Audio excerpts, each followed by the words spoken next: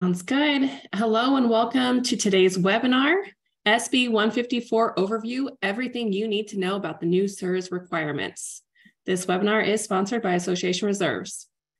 My name is Paige Sharman and I'm the Marketing Manager for Association Reserves and I'll be serving as your moderator for today. We are taking a break from our typical monthly webinar series to bring you a special webinar. Today's webinar will cover the new statutory changes that were enacted in 2023 and signed into law as of June 9th. We'll discuss what changed since last year with regard to structural integrity reserve studies and how our company is responding. Due to the number of people attending, everyone has been muted. You can ask questions at any time by typing your question into the question box at the bottom of your control panel. Please make sure to hit the Q&A button and not the chat button. Our Q&A time will be during the last 20 to 30 minutes of the broadcast, and we'll get to as many as time allows. We will be providing copies of the slides for today's presentation, as well as recording of the class. So if you have any colleagues or friends who couldn't make it today, please feel free to pass this along. And now I'd like to turn the floor over to Will Simons. Will? Thank you very much, Paige. Good afternoon, everybody. Um, this is going to be, as Paige indicated there, a, deviation from our, our normal monthly webinar series. I know a lot of you have joined us for prior sessions where we've done the uh, fundamentals of reserves and reserve funding methodologies. And then um, typically every third month, we do a Ask a Reserve Specialist session. Uh, but I thought this really deserves its own treatment. This is definitely the topic that everybody wants to know about and talk about these days. There's certainly a lot of questions about this new bill and how our industry is responding. And so I thought, you know, let's let's just try to get it all in one place. Uh, so I hope that my um, title for the course is not too ambitious, um, maybe a little uh, presumptuous to tell you that this is all you would need to know, but I'm going to do my best. Um, we've been having really the same conversations over and over and over again for the last few months and even going back to last year. So I thought, let's just synthesize that and put it all in one place and try to answer as many of these questions as we can. So um, thank you for being here. Um, this this session is not for course credit, as Paige mentioned, so uh, no need to provide us with your CAM license number or anything like that. This is just for information, um, but we do hope that it's going to be a useful uh, use of your time. So thank you again for joining. Um, I, I guess I do want to zero in a little bit too about the material. So although there's a lot to Senate Bill 154, uh, what I'm going to focus on primarily is the SIRS, the Structural Integrity Reserve Study portion of that. Um, but there's a lot more to it. There's you know, milestone inspections, which I will touch on a little bit um, as they relate to a SIRS.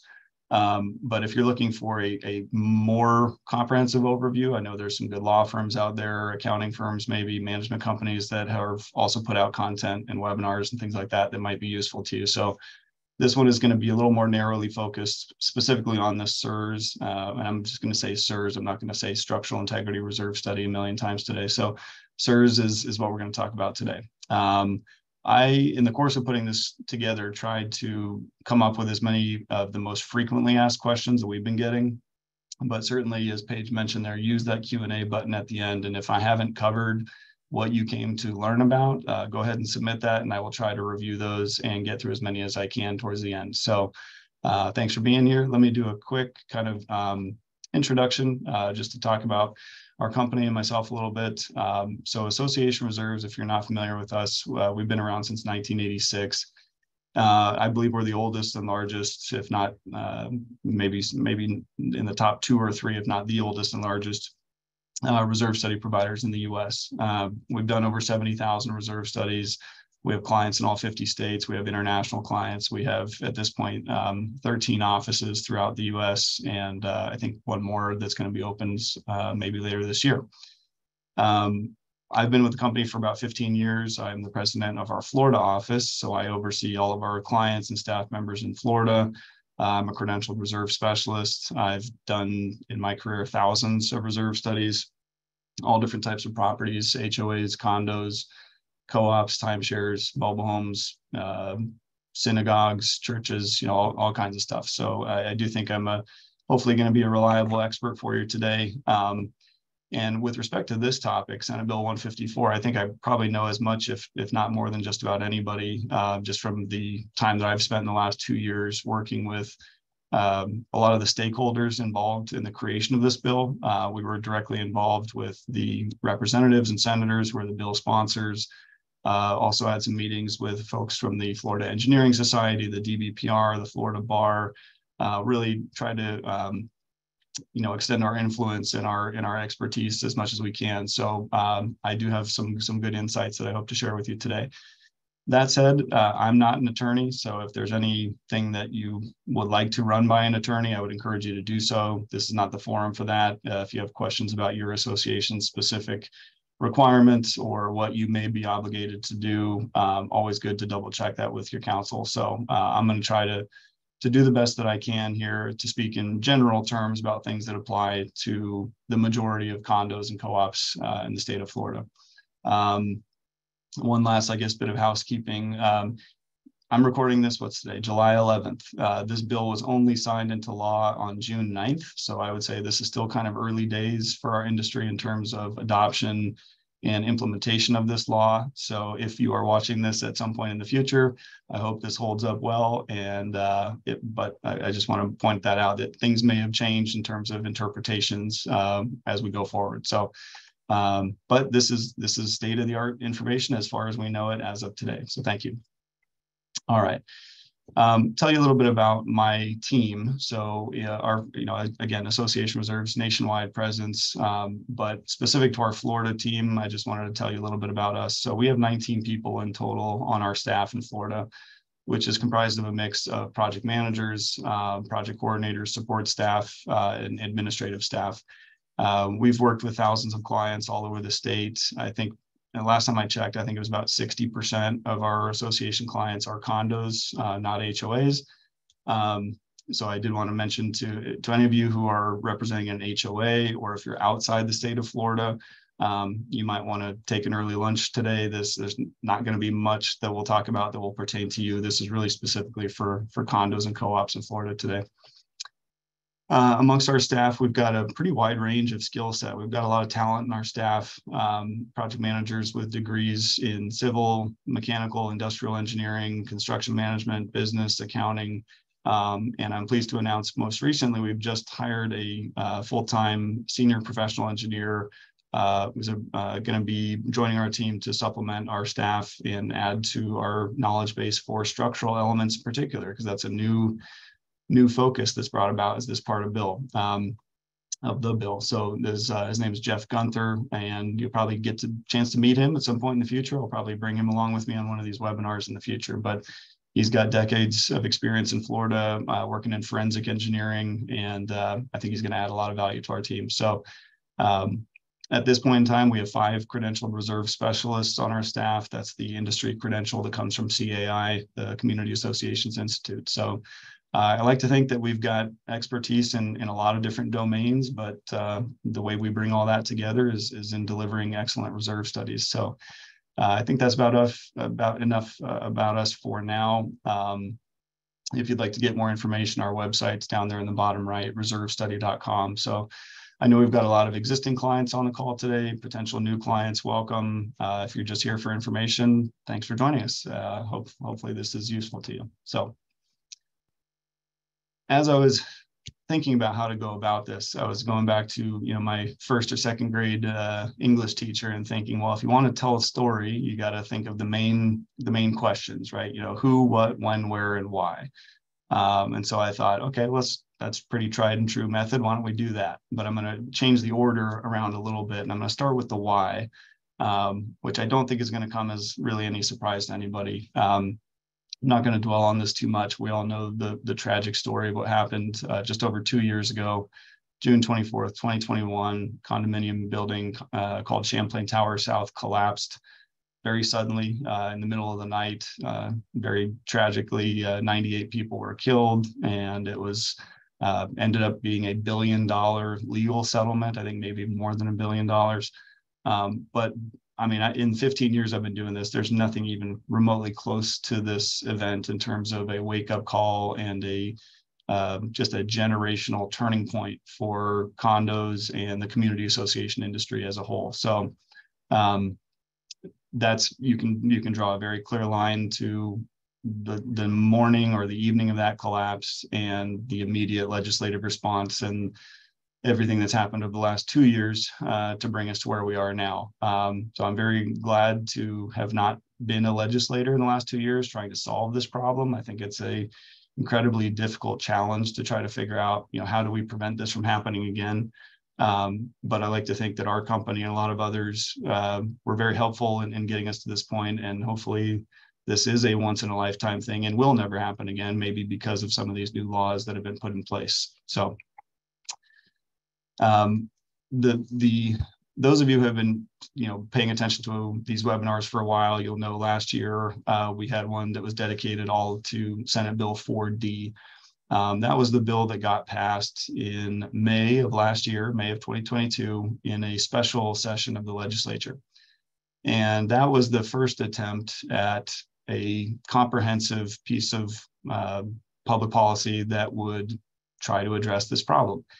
And I think it was a very good first attempt, but I think it was right, rightfully criticized in terms of some of the important details. And it really was never fully implemented. I think most people were kind of sitting on the sidelines thinking, well, let's see what happens in the next session. This one just feels a little bit half baked and a little um, problematic, a little impractical in a lot of ways. So um, to their credit, the, the legislators all got together starting last fall and then into this spring and created the new bill, um, the new law, uh, Senate Bill 154, which um, I think is a is a very um, helpful improvement to 4D. But they had the same legislative intent, which, as I put up on the on the screen here, to promote and enhance the safety and the financial security of condo and co-op buildings throughout Florida in in two ways: by requiring uh, professional inspections to be done and to impose you know requirements for financial uh, funding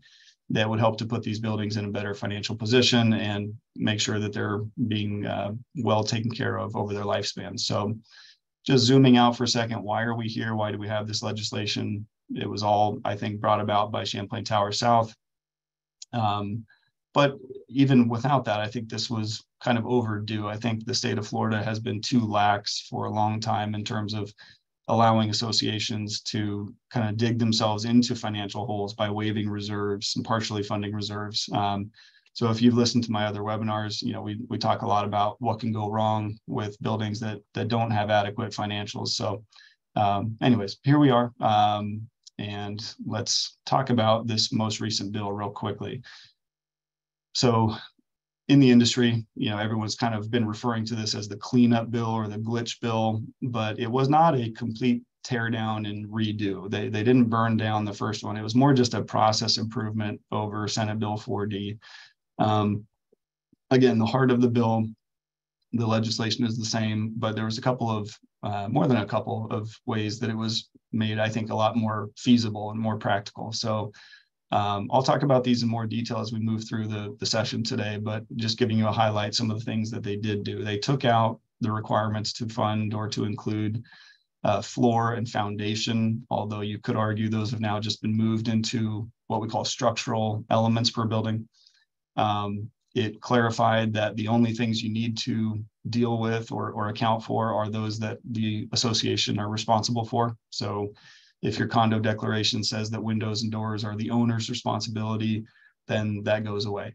Um, I think I forgot to put it on the list here, but I believe it also specified that this is limited just to residential buildings. So if you're in a commercial condominium or a uh, you know a dock cooperative or something like that, um, I believe that those are now excluded. This is really just for residential properties. Um, some of the biggest changes they made were to expand the pool of providers of who can actually do a SIRS, which we'll talk about, um, and then giving a little bit more uh, judgment calls to those providers in terms of how things would be included or not. So uh, that's kind of just a very quick rundown of, of what materialized in this cleanup bill, but I'll, again, I'll go through this in a little bit more detail. So all right, so going back to that who, what, when, where, and why, let's talk about who is actually subject to these requirements. Um, again, to be clear, this has nothing to do with HOAs. This is really specifically for Florida condominiums and cooperative buildings that are three stories or more in height. Um, I put there that second bullet point, room for interpretation. So the way that the bill reads is it says a SIRS must be conducted for every building on the property that is three stories or more in height. Now, I think that was a uh, a mistake on the part of the uh, people who wrote this bill to specify that it was by building. We all know that you can have multiple buildings within an association, but by and large, it's still one association. So all of the owners within that community are paying into one budget, whether or not they live in a two story, a three story, or a five story building. If they're all part of one legal entity, it's one association. Uh, now, uh, obviously, there's exceptions to that. If you have a multi condo association where there are distinct separate budgets for each thing, or for each building rather, that would be a different approach. Um, but the way that we are, I think, interpreting this is that if you have a condominium or co-op development and you have at least one residential building that is three stories or more, then I think you are now obligated to do a SIRS. Um, whether or not all of your buildings are three stories or not, I, I, think you should act as if they all need to be done in this fashion. Um, I would defer to an attorney on that if somebody gives a, a better interpretation there. But again, there's the distinction should be by the association, not by building. Um, and if you have at least one three-story building or more, um, then I think you're a SIRS mandated building now. Okay, who can do a SIRS? Um, so again, this was something that was not um, completely changed from Senate Bill 4D. The, the language in the bill says uh, if you read it carefully, it actually says any qualified person can prepare a structural integrity reserve study, but the visual inspection of the property must be performed by somebody who is a state licensed engineer, architect, or a credential reserve specialist or a professional reserve analyst. So those last two credentials were something that they added to the bill this year. Um, and I think that was very wisely done because people like us who do reserve studies professionally uh, some of them do have other licensure as an engineer architect, but the majority of professional reserve study providers um, are specialists in that field. They're not otherwise licensed, although they may have engineering degrees, architecture degrees. Um, that doesn't mean that you're licensed as a professional there. So this was a, a big, um, a big improvement. Really, it, it helps solve a, uh, as I, you know, a lot of people have pointed out, the imbalance of supply and demand. There's I want to say 25,000 properties that are now needing to meet this requirement in the next 18 months. And I think one way that they can help to try to uh, make that happen is by expanding the group of people who are even qualified to do it. So um, if you are a credentialed reserve specialist or PRA, you are now able to conduct the visual inspection portion of the SIRS. And that's a good thing. That allows a lot more associations to meet this requirement on time. So all right, this is, I think, going to be the, the bulk of that that I'll talk about, at least in terms of segments here. What is a, a SIRS? What is a structural integrity reserve study? So I've got a series of slides here that just kind of uh, talk about that in more detail and really explain what this is. So this is the actual text of the bill. Um, read this over for a second. So at a minimum, a SIRS must identify each item of the condominium property being inspected state the useful life and cost uh, of each item. I'm skipping over some words here. Being visually inspected and provide a reserve funding schedule with a recommended amount that achieves the replacement cost or maintenance expense of each item by the end of the remaining useful life of that item. So that that last portion there, talking about the financial funding schedule, I'm going to circle back to that at the end in our FAQs. So that's something that a lot of people are asking about and I think are, are very confused by. But um, this is the definition, if you will, the context from the bill of what a structural integrity reserve study is. Now, this is a listing of the specific things that are deemed structural uh, that would need to be included. So there's some, some familiar items in there, um, but I'll go through these one at a time. Some of them are obvious. Roof, um, no question, that's always been a reserve component. Structure, All right, so structure meaning load-bearing walls and other primary structural members in primary structural systems as those terms are defined. So to save you the trouble of looking up that other statute 627, I'll just tell you what the definition of that is. So a primary structural member is a structural element designed to provide support and stability for the vertical or lateral loads of the overall structure.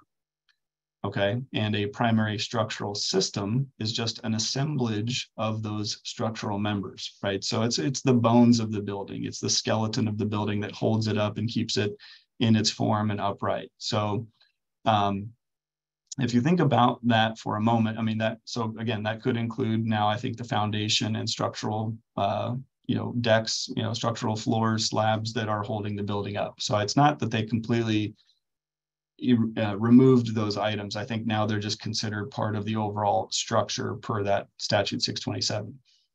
Um, with respect to a reserve study, though, I mean, the, the structure of a building is usually not something you would ever consider fully replacing. There may be repairs, there may be allowances for concrete restoration for balcony and walkway decks, for example. Maybe there's garage, you know, columns that need to be restored from time to time, but this is never, I, I, don't think, ever intended to be something where you do a full replacement, such as you would for a roof.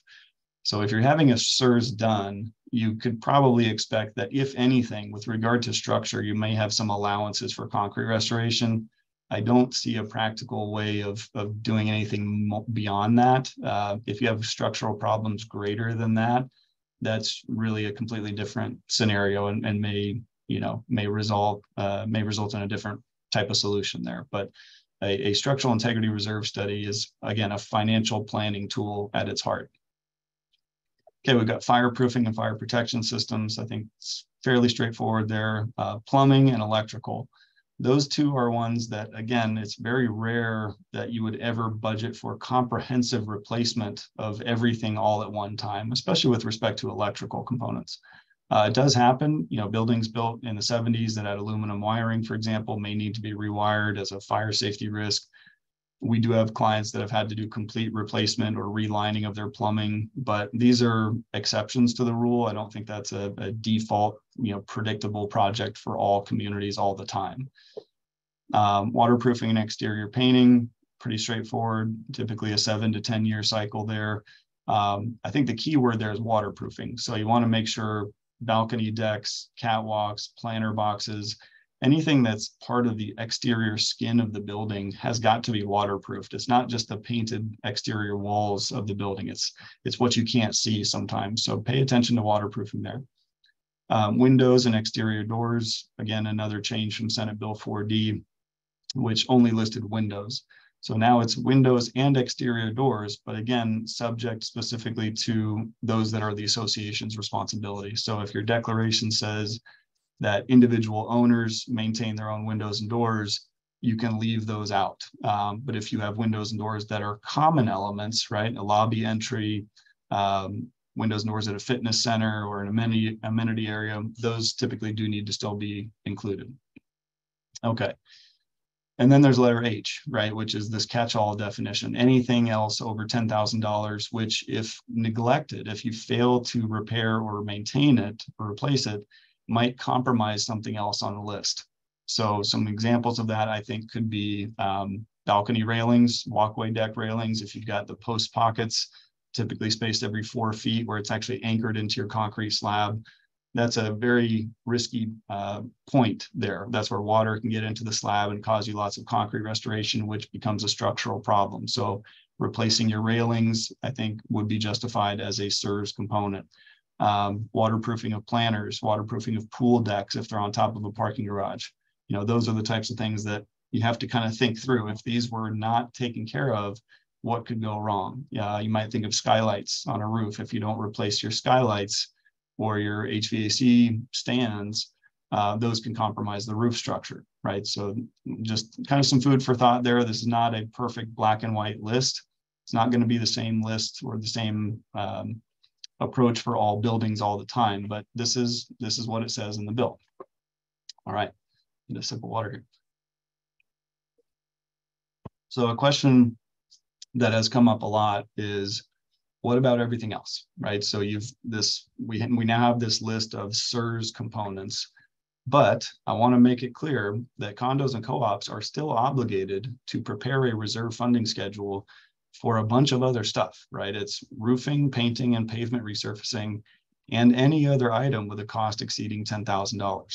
So elevators, cooling towers, amenity areas, um, hallway carpeting, you know, not, not always the same level of importance to the building, but some critical items there that are not structural, like elevators, that you absolutely cannot live without in your building.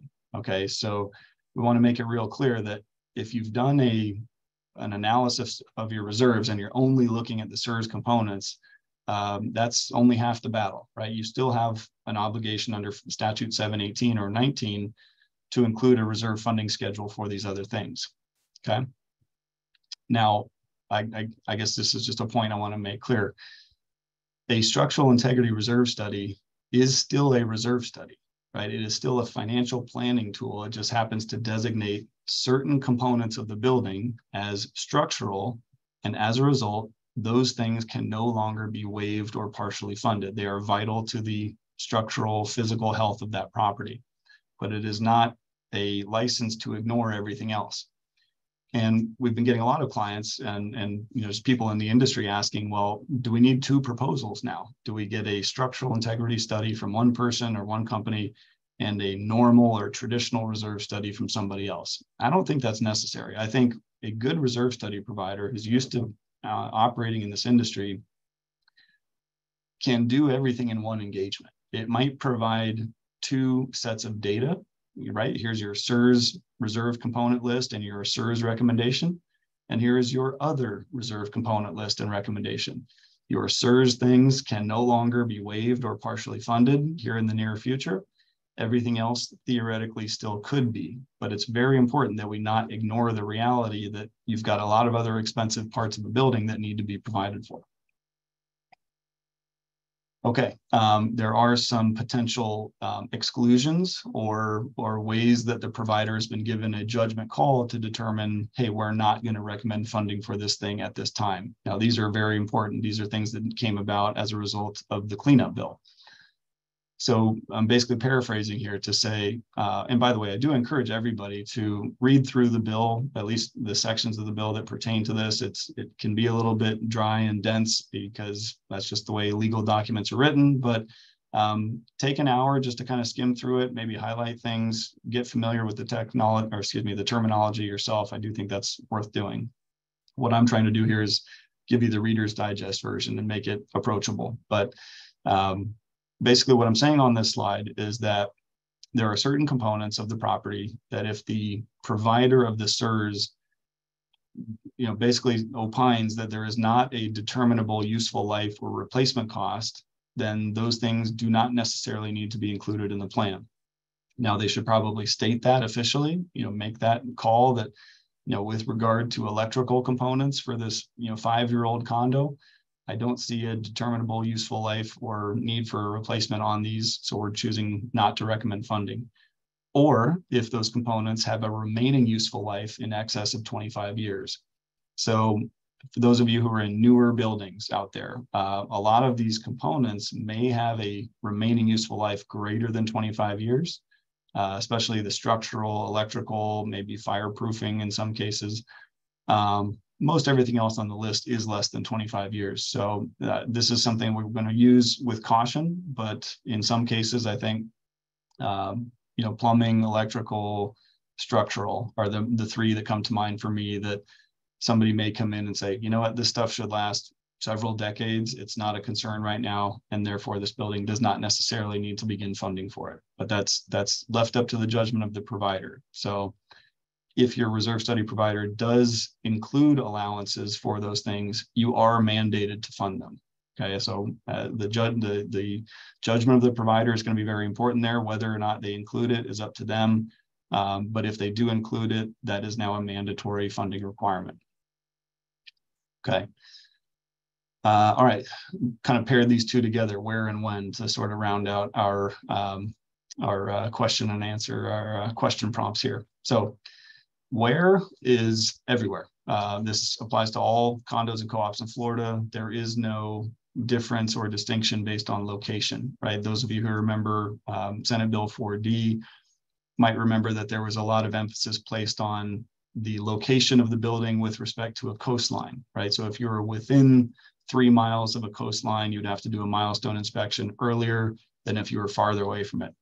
That has nothing to do with the SIRS. You know, there is, you know, uh, buildings in Orlando have the same uh, timeline, same requirements as those in Miami Beach. Okay, so um, again, it's it's the height requirement is what triggers you to be a SIRS mandated property.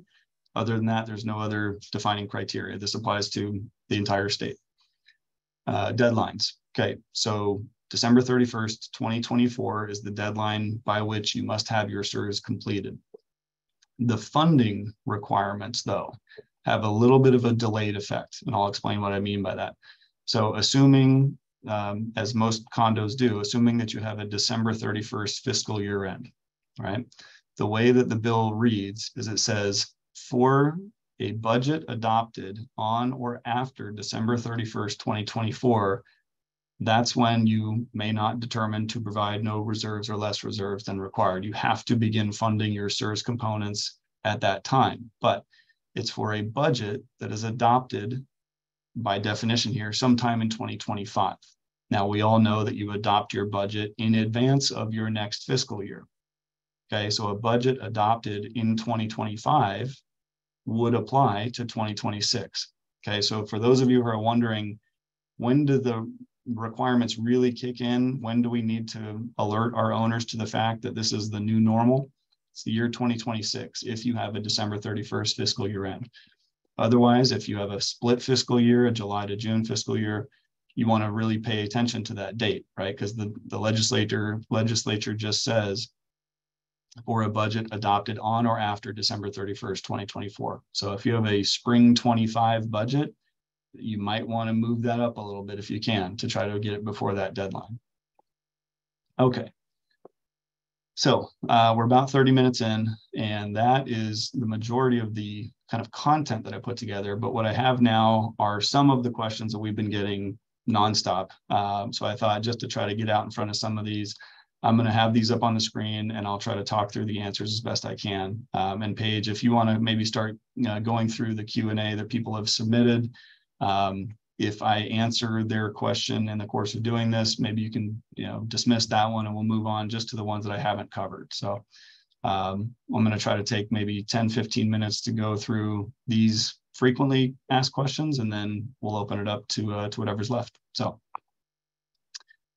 okay this is the by far and away the most uh, emotionally laden question that I think people are asking. What does fully funding mean, right? What do we have to do, and what do we what are we obligated to put in the bank beginning in this next year or two? So I want to make this clear once and for all. Fully funding does not mean that you have to provide the entire replacement cost of your components at one time, right? Unless there's one caveat there, unless that component is at the end of its lifespan. Okay, so I'm just going to use the example of a roof. If you have a, a roof that has a useful life of 20 years and it's 10 years old, you do not need to have 100% of the replacement cost in the bank today. Generally speaking, fully funding that roof would mean that ideally you have half of the cost in the bank, right? You would have a half of the replacement cost because it's halfway through its life. But if you have been waiving your reserves for those first 10 years, there is not an obligation to account for all that lost time all in one shot. You do not need to put 10 years worth of reserve contributions into your bank in this first fiscal year. What it means is that you have the remaining 10 years of life for this roof to collect that full replacement cost. Okay, so let's say it costs, you know, $500,000 you have a $500,000 cost, you have 10 years of remaining useful life to accumulate that cost. So you would need to put aside, you know, without accounting for inflation at the moment, 50 grand a year for the next 10 years so that when your roof needs to be replaced, it is at that point fully funded. Okay. So for anybody out there who is is you know thinking we're going to have to raise millions of dollars in the in the next 18 months, you don't, right? Unless all of your components are at the end of their lifespan, then you know unfortunately you might need that, but that's going to be a special assessment anyways.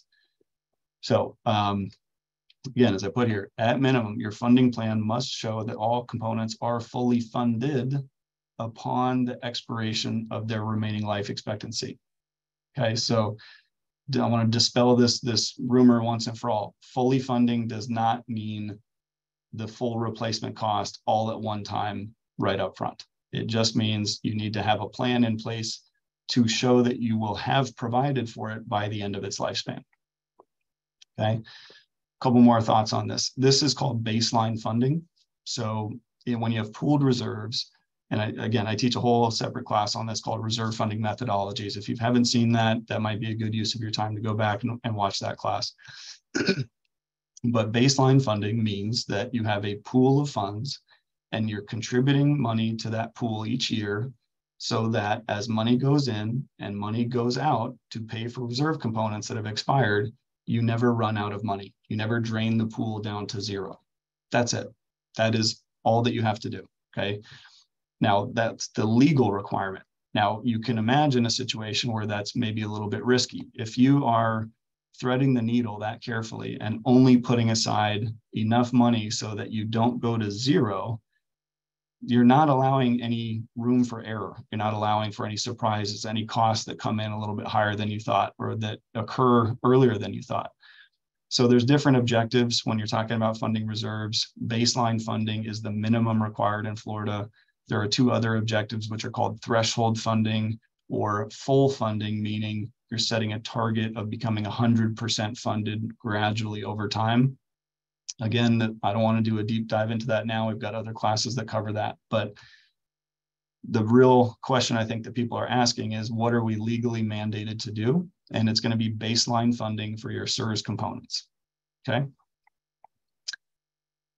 Second question, um, if we did a traditional reserve study, right, earlier this year or last year, now that we have this new bill that's a month old, what do we need to do? Do we have to start over again? Um, now, this is partly my interpretation, but I have read through this bill and there is no, uh, there is a, a, requirement in there that says the SIRS must be based on a visual inspection, but it does not state that that visual inspection must be done at the time the report is prepared. It, it actually, the only language that it says along these lines has to do with milestone inspections. It says if you have done a milestone inspection within the last five years, and typically that's going to be like a 40 year certification, then maybe that will satisfy your visual inspection. But I'll talk more about that in a second. Um, point is, what we are telling our clients, and this is me speaking for my company, if we have done your inspection in the last year, year and a half, maybe,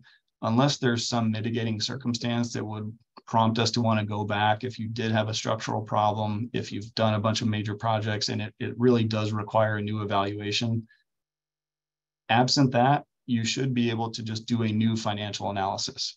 Now, if it's been longer than that, if it was 2021 or earlier that we were the last on your property, we are going to insist on a new visual inspection. Um, this, you know, none of these bills existed prior to that. So I think that's appropriate. Um, and it's probably in your best interest anyways, but I don't think that there's anything compulsory in the bill that says all new SIRS must be based on a new visual inspection. If it was fairly recent, I think that should be able to qualify. But again, this is new. Uh, and if somebody corrects me on that later on, uh, maybe we'll have to change that policy. But for now, I think that's appropriate. Okay, so along those lines, can a milestone inspection serve as the basis for a SIRS? Now, the bill says it can, but I'm going to say that practically speaking, I don't know how it could. The bill says if, again, if you've had a milestone done or an, an inspection for a similar local requirement, so 40 year certifications if you're in Dade and Broward County, they say that that would justify the visual inspection of your property. The problem with that is that a milestone inspection or a 40 year certification are typically a lot more limited in their scope, right? They do not always include everything there. You know, I've read some that include roofing and some that don't. I've read some that you know, uh, may touch on, um, you know, balcony waterproofing and some that don't. Certainly, I, I, can't recall any milestone inspections that talked about fireproofing or plumbing, um, or in a lot of cases, windows and doors. So I think from a practical standpoint, it would be helpful if you've had a milestone done. If you had a structural engineer do a 40 year certification for you, that's great. You should incorporate that into your SIRS. If they have any good recommendations, you should follow. But I don't think that you can do one and not the other. Okay. Um, again, my my opinion, but um, we've had some clients that have said, "Hey, we just did our 40 year or 50 year certification. Do you still need to come out?" And my answer is yes, because there's other things we need to look at there. Okay, a very common one here. Can we still use pooled reserves? Yes, you can. The DBPR published a FAQ page on their own website last year during Senate Bill 4D that had a clear response to this question. The answer was yes. Now, it is yes with an asterisk. However, it might require now that you have two pools of funds, your SIRS funds and your non-SIRS funds. Um, you know, the the distinction here is that, again, the spirit of the law, the intent of the legislation is they don't want money that was originally intended for critical things, structure, roofing, painting, waterproofing, stuff like that, to be spent on lobby remodeling, right? So um, up until now, you could have had one pool of funds that was used to pay for everything like that. But now I think we're going to have to segregate those funds into SIRS and non-SIRS or traditional components. Um, but within each of those pools, you can still use that pooled recommendation. You, there is no need to have roof reserves distinguished from painting and waterproofing, distinguished from structure. They can all be part of a SIRS pool here and then a non-SIRS pool here. Um, as far as how to uh, do the math there, how to allocate money from one to the other, that's uh, kind of a work in progress. We have a kind of a working model of how to take a singular pooled account balance and split that into two.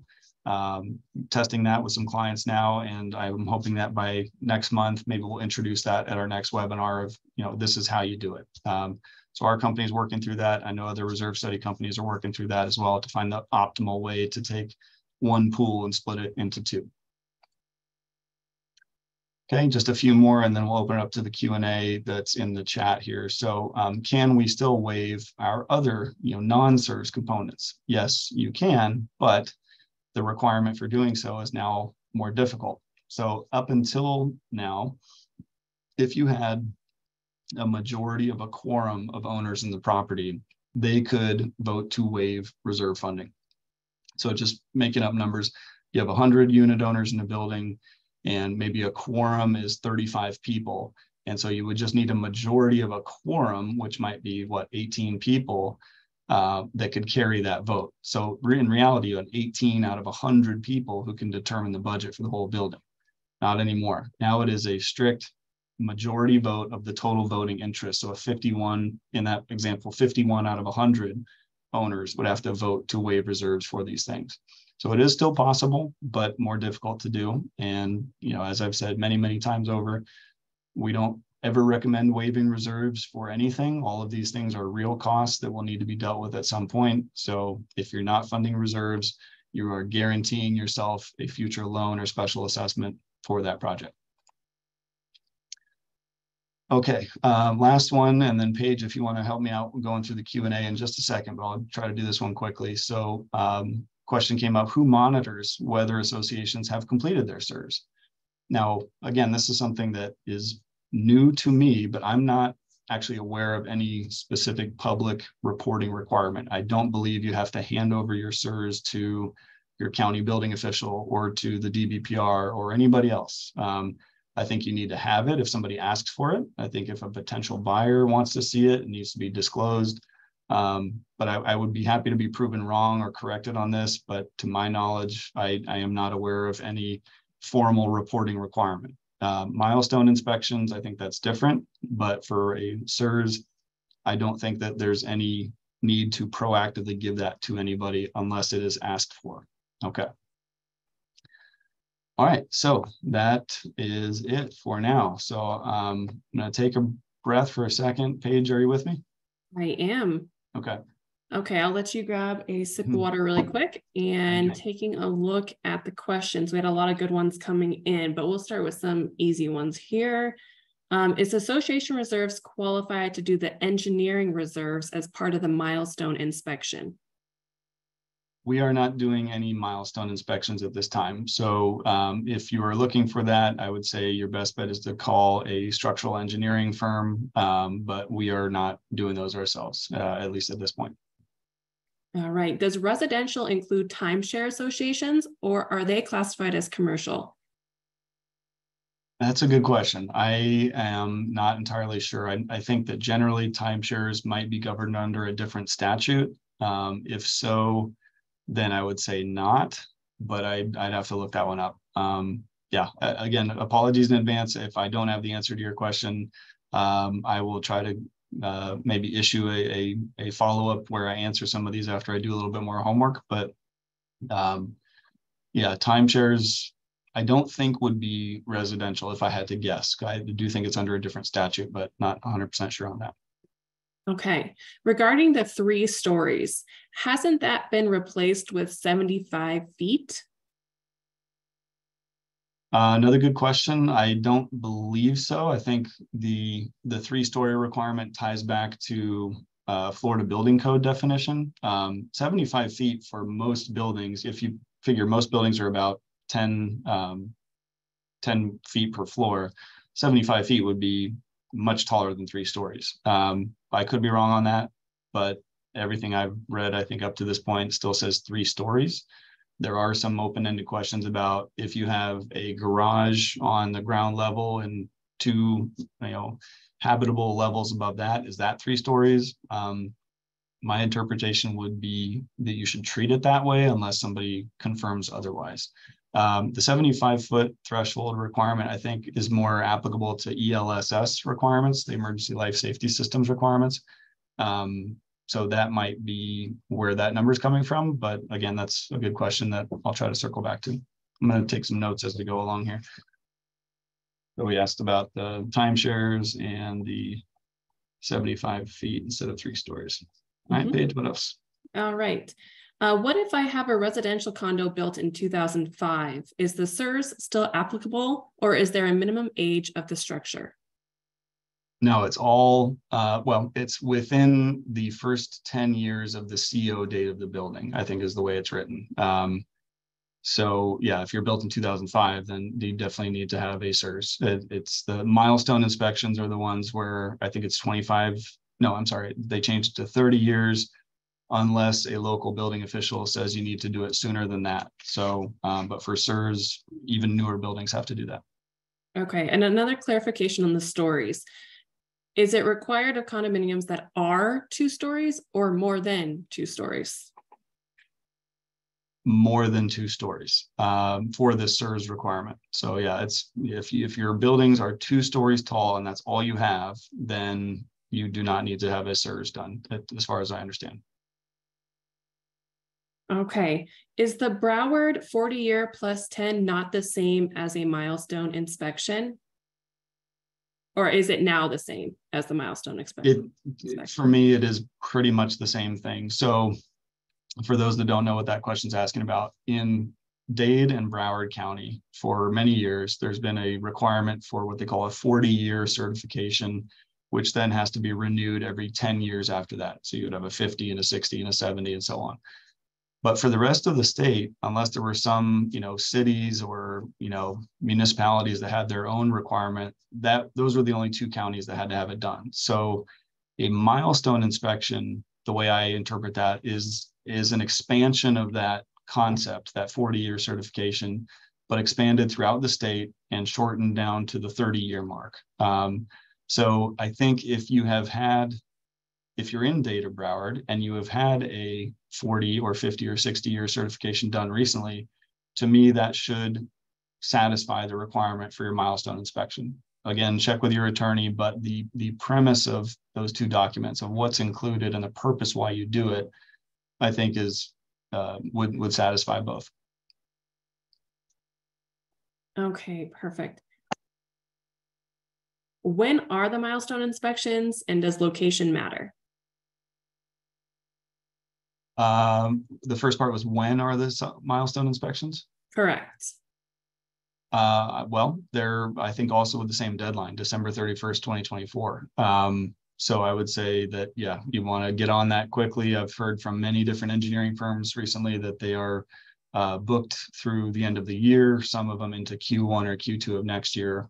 Um, I didn't really talk about it earlier, but one idea I have or, or kind of uh, if I had to bet, I would say that maybe in the le- in the next legislative session that they might extend some of these deadlines. I think there are just so many buildings that are going to have a hard time finding qualified people to do this work that they may they may extend those deadlines or they may stagger them like by building age, for example.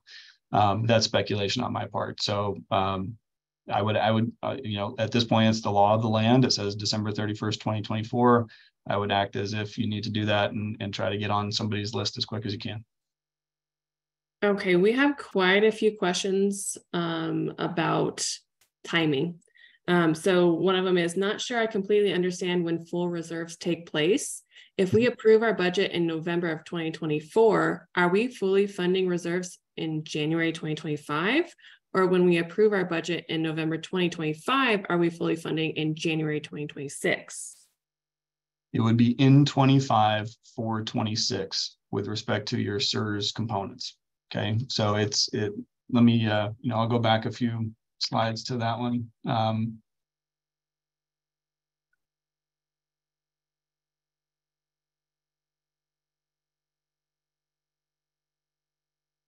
There we go. So the way the text reads is for a budget, adopted on or after December 31st, 2024. So in 2025, the association may not determine to provide no reserves or less reserves than required. And that goes on to say for the items listed in paragraph G, which are all the SIRS components.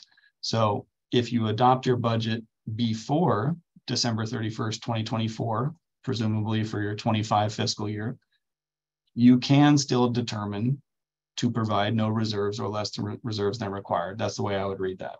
But if the budget adoption date is after December 31st of 24, then all future budgets that would be adopted have to have full funding of SIRS components. Okay, so if there's an association that has a fiscal year ending in February and they approve the budget in February of that year, that would be before December 31st, 2024, unless they adopt it the next year. you know, they they didn't account for the differences in in fiscal years for for condos here. Um, the majority of condominium association co-ops do have a calendar fiscal year ending December 31st, but not all but there's no provision in there that I'm aware of that says if you have a you know April 1 to March 31 fiscal year and you adopt your budget in January, I don't think you get any grace on that. I think it's just everybody should abide by this this date here for a budget adopted on or after December 31st, 24. And I would maybe add to that, regardless of when your fiscal year actually starts, you need to be aware of that. Perfect. Okay. What interest rate assumption on replacement costs for SIRS components do you expect to use in your SIRS?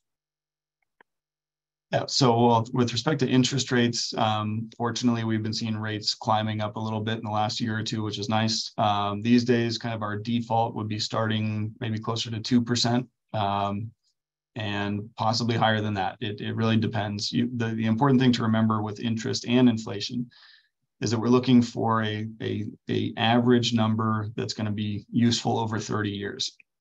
So, you know, for a long time, we've had very low interest rates, associations earning a fraction of a percent, even on millions of dollars in the bank.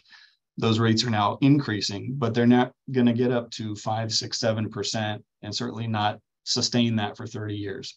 So we have to be kind of prudent and careful with whatever assumption we make because that assumption is that it's going to be a good average for 30 years. So I would say something in the two to two and a half percent range is reasonable at this point. Um, less than that, I, I, think is, you know, if you're getting less than that, you probably should shop around different banks. Uh, you can certainly get better than that now, uh, but wouldn't want to go too much higher than that. Okay, if both milestone inspection answers are needed, does it matter which is done first or should they be coordinated? It doesn't necessarily matter which is done first. I do think if you, I, I for me, the smart way to go would be to do the milestone first because that is a uh, potentially a, a, more in-depth analysis. If they go from a, a phase one to a phase two inspection, that's going to be possibly opening up walls and floors and doing a much more in-depth review of your structural uh, elements. So I would say if you're going to go deep on something, do that first and then incorporate those findings into your SIRS later on. So you could do them at the same time. Uh, there may be some providers out there who are offering both, but given uh, the choice, I would say do the milestone first, then the SIRS, or do them concurrently and make sure that the two providers are in context or in uh, contact with each other. The other reason I say that is I think the engineering firms are uh, even maybe more swamped than reserve study companies right now. I mean, everybody's swamped, but uh, I've been hearing for a long time that milestones are very difficult to get proposals for right now. So I would maybe start there. Okay, and what is the average cost of a SIRS visual inspection? I'm really hesitant to give a number for that right now. Well, a couple of reasons why. Um, it's very well. First of all, the number is going to vary quite a bit based on the building, right? So if it's a 50-story high-rise building, that's a completely different animal than a three-story, you know, 10-unit building. Uh, if it's an older building, that's probably going to be more costly than a newer building. Uh, if it's on the coast where maybe there's more of a history of major problems and projects that need to be researched, that would drive the cost up too. Um, I can, I will comfortably say that a structural integrity reserve study is more expensive than a normal one because there's more work involved. You know, the provider is, is having to include new things that were not there before. We have to do more financial analysis work on the back end to present those two sets of recommendations. Um, and there's just a market effect right now. It's a supply and demand issue. I, I, can only really speak for our company, but I think the same is true for everybody else that our phones are ringing off the hook. We've got a pipeline of work that is quite full already. And so um, the cost is not likely to go down anytime soon. We're, um, you know, it's just, you know, a supply and demand issue. We have hired more people recently. Probably will continue to hire some more to try to meet this demand, but um, in the meantime, you know, if you're used to paying a couple thousand dollars for a reserve study, um, it's probably not going to be that way anymore, at least for for the near future. So, uh, but but there is a real fundamental reason for that. It is more work on the part of the provider. So um, I would say don't don't be surprised if you see some pricing that's a little bit higher. Now, is it ten times higher? No. Uh, I've heard some really wacky numbers thrown out there recently. There was a building. I'll just tell a quick story. we did a reserve study for last fall um, for something like $6,400 and heard that they went out to bid for a SIRS this spring. And one of the quotes they got was $80,000, eight zero zero zero zero. Um, so more than 10 times what we charge for them. And I, I don't know why that would be, but um, yeah, I think our industry is trying to figure out how to do these studies in the first place, what needs to be included, and different companies might have a different approach to how they do that. Um, but yeah, we're, we're trying to be as sensitive to our clients as we can in terms of pricing. Okay, we now have a new EOR. They will be doing the new SIRS report, but we as an association already have a SIRS report. Can we choose which report to use? It's a good question. So EOR there means engineer of record. Um, and so the question is if you've got a new engineer of record doing a new SIRS report and you already have an existing one, um, I've not been asked that question. I'm not sure. I guess there could be the option for the association to choose which one they want to use. I would say choose which one seems to be more accurate, more more thorough, more professional. Um, but it kind of begs the question of if you've already had one done, why would you bother to pay for another? Um, you know, I'd have to know more about the individual circumstance there, but as to the question of uh, can we choose which to use, I think that's a good question for your attorney. To be honest, I, I don't know the answer to that. All right. Um, if we hire your company for the SIRS, will we get a full reserve study, including other building needs? Yes. Uh, again, speaking for our company, we are not offering just a structural integrity reserve study. Our, our approach to this is we do reserve studies. And by including the things that we need to include per that list, that will qualify it as a structural integrity reserve study. But I don't want to leave our clients in the dark with respect to their other components, right? Their elevators, their all the other mechanical systems, the amenity areas, all the things that we've put into our work for decades now can't be ignored. So um, yeah, if you hire association reserves, you're going to get everything included, and we will just distinguish between which are the SIRS components that cannot be waived versus everything else. Okay. Um, let's see, Paige, I, I, don't know if you have a time commitment. I can go another maybe 10, 15 minutes. I still, we, we still have a ton of questions. I still uh, see some being asked. We do have some participants leaving, which is fine. If, if you got what you needed from this, feel free to sign out. We're going to send out a recording to everybody anyways. So if you have to go, that's okay. Uh, you'll you'll still catch anything that we do for the next 10 or 15 minutes or so. Yep, uh, that's fine with me. So let's keep on going. Uh, should seawall inspections and reserving for those seawalls be included in the new report? I yeah, I think so. Absolutely. So if a seawall is very close to the building itself, that could meet the definition of of a structural component, right? If if there's a big green space or um, you know a buffer between the seawall and the structure, then maybe it's not structural in that sense. But either way, I always think a seawall should be included in a reserve study, um, no matter what. Yeah. Okay. Um, can funding come in the form of loan, special assessment, current reserve collections, or a combination of any or all of those? Good question. Um, in practice, I would say yes, but as per the bill, they have pretty clearly stated that this needs to be funded through reserves. Uh, I don't think that there's a choice for you to say, uh, we're going to forego our reserves because look, we secured a line of credit or we have a loan or we're just going to special assess when we have to. Remind, remind everybody that was how we got to this problem in the first place. You know, a lot of buildings that have been relying on loans and special assessments over the years have found that that is not sufficient, that they're constantly chasing after projects and having to go back to their ownership over and over again for those special assessments and they're they're not well prepared so i think that the um, the, the primary approach needs to be funding your reserves and you know maybe that's a question for an attorney or an accountant if if you've already collected a special assessment and you've got that money sitting in the bank can you consider that as part of your reserve fund and therefore base calculations around that? That that seems to make sense from a math standpoint, but legally speaking, I would defer to somebody else on that.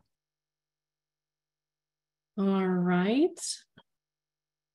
Uh, we have been given a recommendation to start a new bank account for the SIRS reserves. We agree to that. But my question is, it has been recommended to not take what we have funded thus far and add it to the new account but rather start the funding amount from scratch. Do you agree to this? Such as a roof has 10 uh, remaining useful life left, and we have collected half of that. We have been advised to leave the funds in current account and start from zero dollars for the remaining useful life in the new bank account.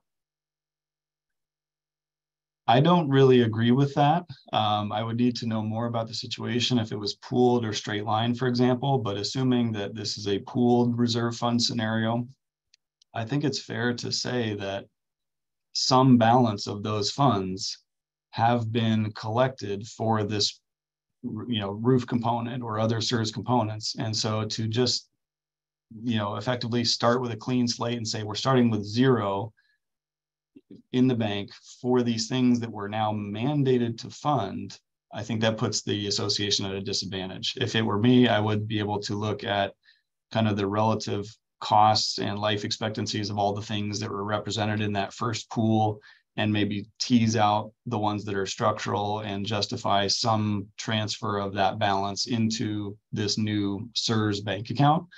Um, you know, others may have different opinions on that, but I think that would be kind of unfair to the association to tell them, hey, you've got money in the bank, but we're going to make you open a new account.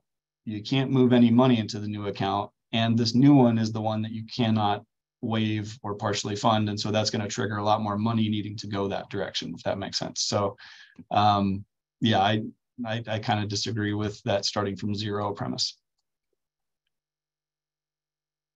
All right. Can you partially fund non-SIRS items without the, the 51% approval? Not to my knowledge. No, I think um, under the under the statute, you have to propose a budget that shows the full funding of all your components. And if you're going to waive or partially fund anything that is non-structural, you would need a 51% vote of the owners to do that. I think that's clearly been changed in this bill that the majority of a quorum approach is doesn't fly anymore and it's not the board's decision either. It's you know the board can never make that decision on behalf of the membership. It always has to go to the members if you're going to do something other than full funding. And nowadays it would take 51% not a majority of a quorum to carry that vote. Okay and i think this question goes back to something um, you mentioned earlier but um, she said, I thought you could not intermingle reserve line items for some other line item reserve.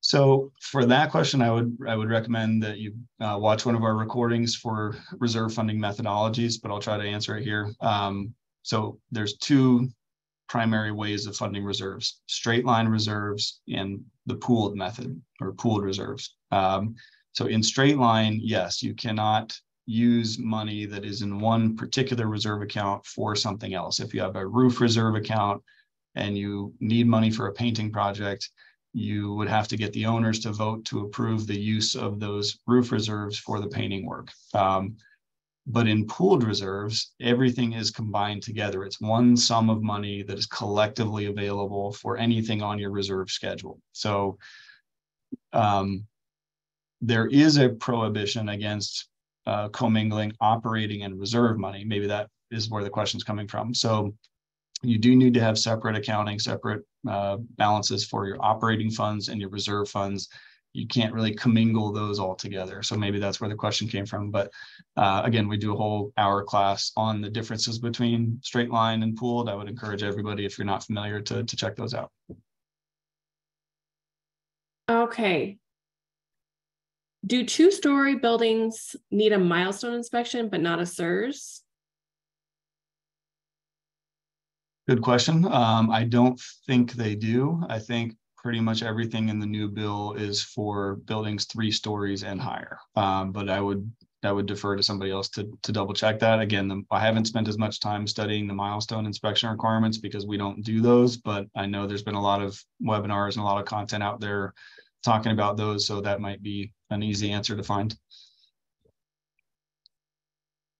All righty, let's see here.